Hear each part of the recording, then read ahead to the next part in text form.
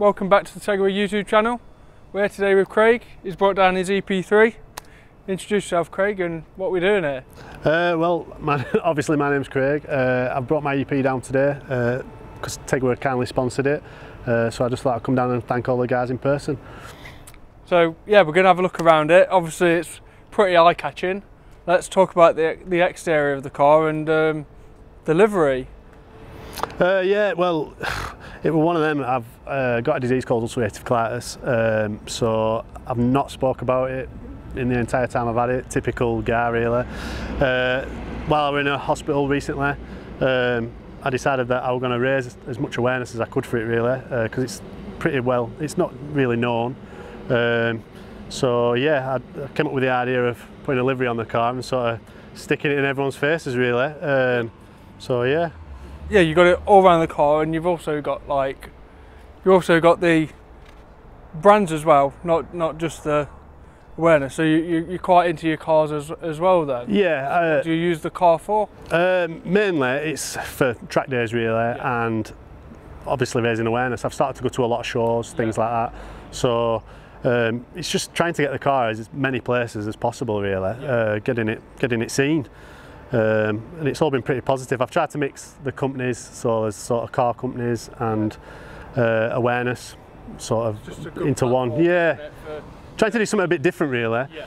So yeah. Because normally it's like one or the other, but I guess it gets petrol heads into. Yeah, well that's it. It's, it yeah, it's sort of it, it's two conversations. So if one doesn't like one thing, they sort of speak yeah. about the other. So yeah. yeah. So what sort of modifications we got? I see the the front splitter there and the the bonnet. Um, yeah, talk to me a bit about the exterior modifications. Uh, exterior wise, um, it's got the Evo 8 Enkei alloy wheels. Uh, running standard brakes. I've had them done by VTEC Monkey, so they've all been rebuilt. Yeah. Uh, running PBS pads front and back. It's on Nankang NS2Rs from you guys. Yeah. Uh, so, uh, exhaust wise on the rear I think it's a spoon copy at the minute but I'm looking to change it to one of the I think it's the new Milltek one isn't it? Yeah that's right yeah, the Civic Cup sort of one. Yeah um, and obviously the livery, the Mugen wing.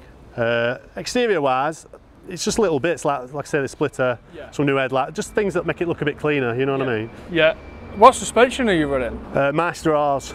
Okay. Um, so yeah, they've I, I, can't fault them on road and on track. Yeah. I think they're absolutely brilliant. Quite comfy on the road as well. Comfy-ish. They're not. For yeah, for coilovers. Yeah, they're not. They're a lot better than some of the ones I've had in the past. So yeah. yeah. Can we have a look inside and uh, see some big bucket seats in there? Bucket seats, uh, Luke harnesses. Yep. Um, Cody steering wheel, which I, am I'm after changing. I won't mind getting a personal one. Uh, SW Motorsports half cage. Yeah, is uh, that like a custom colour? Well? Yeah, yeah, just said what's your brightest colour, uh, and they did that for me. It matches the delivery really yeah, well. well I, I, know it sounds daft, but I sort of had the cage done before, and then I ah, said everything that has uh, to match the. Uh, yeah, it looks really good. That yeah. does. And then there's like bits and pieces like the. Um, the fire, fire extinguisher holder and breast, just little things. Yeah. Um, so how long have you had the car for? Uh, five, six years now. And you bought it completely standard? Yeah, I think it just had um, a K&N Typhoon. Yeah. Uh, that's all it had on it. So. It's come a long way uh, since that. Yeah, to say I'd never modify it in any way, shape or form. Yeah, yeah it's come a long way now. And can we have a look under the yeah. under the bonnet? It's not the cleanest under the bonnet, but. And what sort of engine modifications have we got going on uh, basically, just the K&N Typhoon, okay. which again I'd like to swap. It's mapped yeah. uh, by Paul West. Uh, uh, the rocker cover done by one of you guys, I think, that work here. Uh, Andrew Ford, 4D, yeah, so, 4D yeah. Customs, shout out. Um, so yeah, uh, but other than that, it's all like polybushed everywhere, um, stuff like that. So. so it's just ready for, you know, abuse on the track. Yeah, it's nice just it literally yeah it literally gets driven there. Yeah uh, driven round and then driven home again. Yeah. So yeah. No, it's good. Like everything that you've you've put on it, obviously, it's not it's not overkill. You've not no, thrown. Yeah. Thrown yeah. a catalogue at it. Yeah, like I'd like it. to. If I, yeah, I'd like to throw the catalogue at it, but it's uh, it's just one of them. It's like how far you go, and like you say, the reliability side of it.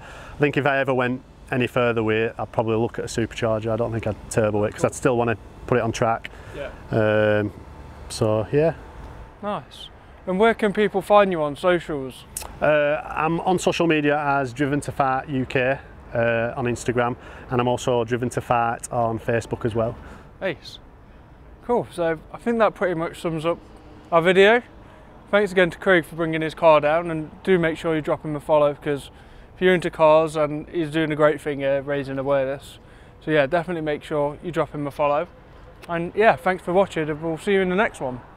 Cheers mate. Thank you.